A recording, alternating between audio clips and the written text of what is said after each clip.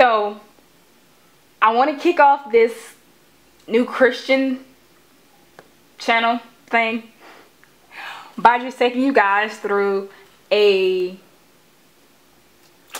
um, a way or a method that I read the Bible and uh, as far as understanding and color coding or you might want to stop it at highlighting so I'll just take you guys through how I highlight the Bible.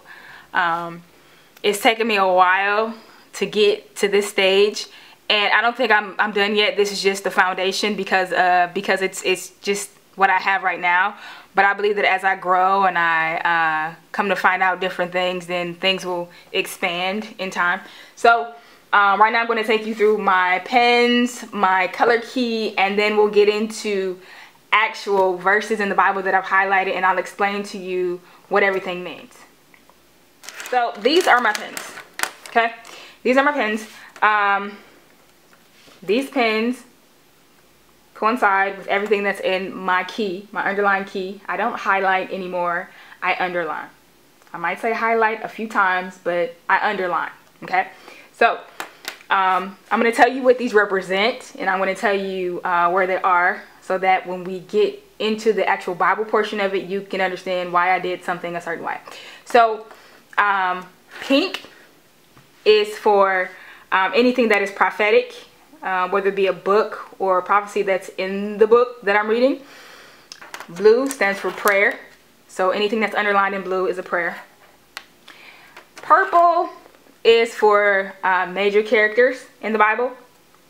So if you're reading the book about Daniel, then every time Daniel is mentioned, um, it'll be purple because it'll let me know that Daniel, I'm sorry, was a major character in the book. The book itself should kind of be self-explanatory, but hey, sometimes people want to know. Green is for, uh, what is green for?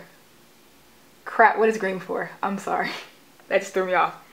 Okay, we're gonna switch colors. Red is something that is, that's what it's for, I'm sorry.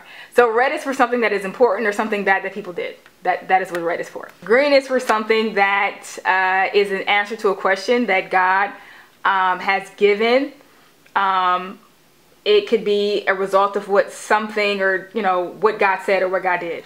So that's what that is for. Green is for an answer, basically.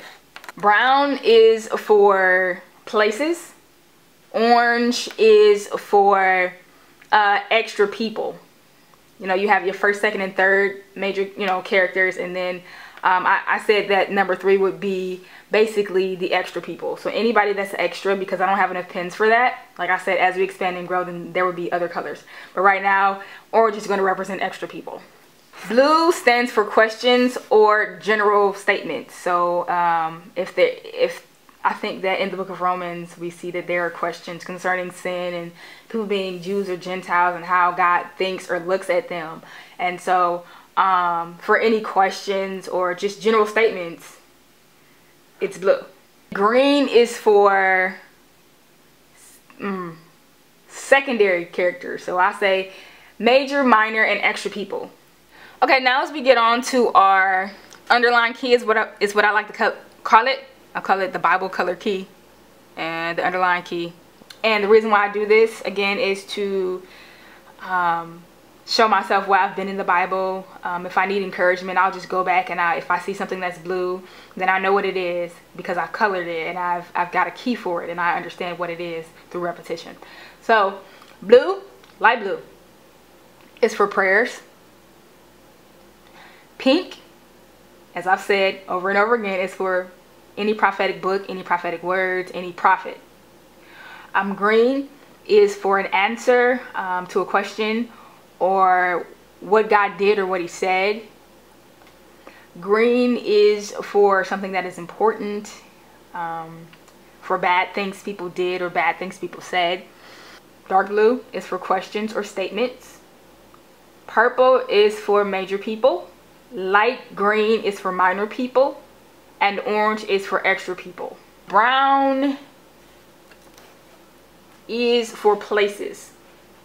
When we get down to coloring the individual books of the Bible, all the colors are repetitive, but they all mean something different.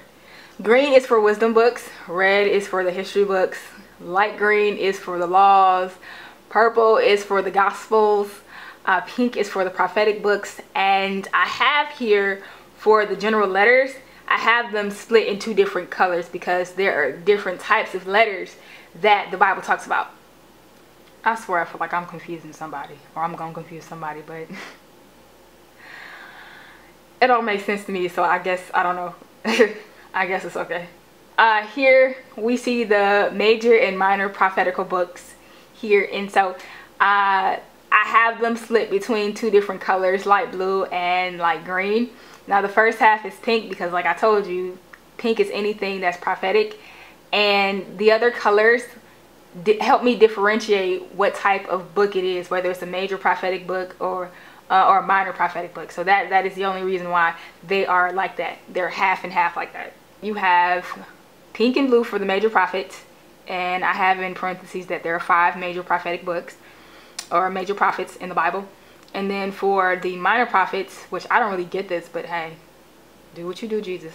Um, you have pink and lime green for the minor prophet minor prophets and there are 12 of them so yeah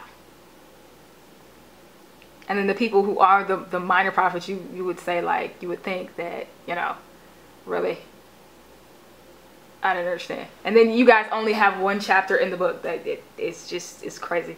So uh, here right under that we have the underlining um, Bible references. So, you know, like when you read a passage and then right under the passage, there's an extra uh, scripture that you're supposed to go read or they recommend you read or something that they think will help you. What I do is I'll go read that sometimes and if it applies to the scripture that I just read, then I have a system for that. So red is for something that doesn't apply. Uh, green is for something that does apply and then blue is for a continuation of the same scripture. So Mark, Luke, and John some of those scriptures are, are, are the same with a with a few variations of a few words here and there you know. Luke might have saw more than Matthew did or John might have saw more than Mark did or something like that. So um, sometimes I'll split them in half to say you know yes this applies but it is a continuation of what was said in Luke or what was said in Mark. So one side will be blue and one side will be green or something like that. That's my color key. That is how I color my Bible. But we're not done yet. I have to show you how I do it. Let's carry on, shall we?